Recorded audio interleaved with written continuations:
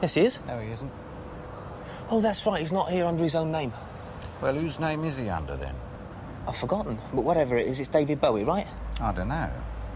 Now, if you could remember the name when we found out the gentleman was registered, and if it turned out to be Mr. Bowie incognito, well. I'm driving a limo, ain't I? I saw Mr. Bowie's driver yesterday, and it wasn't you. So he is staying here. I never said that, you little bollocks. Oh,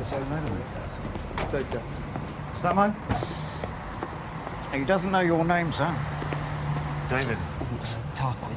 I meant he didn't know your alias. I've forgotten that.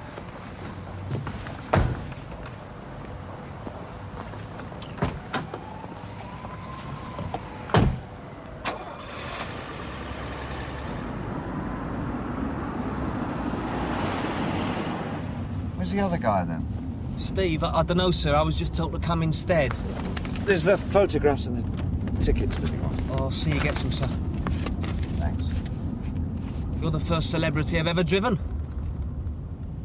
So you didn't have that Dylan in the back of the car the other week then? Dylan who, sir? Dylan Dylan.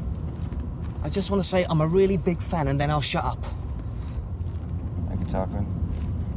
I really like Tin Machine. And the early stuff, well, it's brilliant. First album I ever heard of yours was Aladdin Sane. Of course, it was my dad's. I was only nine at the time. Thanks for sharing that, Tarquin.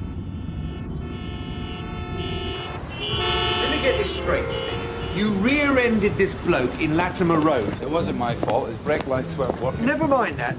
When it happened, did you know the girl was hurt? Oh, she sort of. Yeah, yeah. Donna, do you really think we need to go to that dinner tonight? Somebody in the studio and I'm shattered. Can I be 12 shot? Uh, no, I just want to crash. What time's the sound check tomorrow? One. One o'clock? Wait me then. Okay.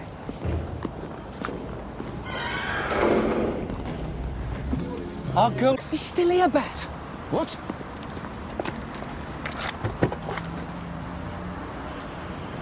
He slipped through all that. He's not on anything, is he? No.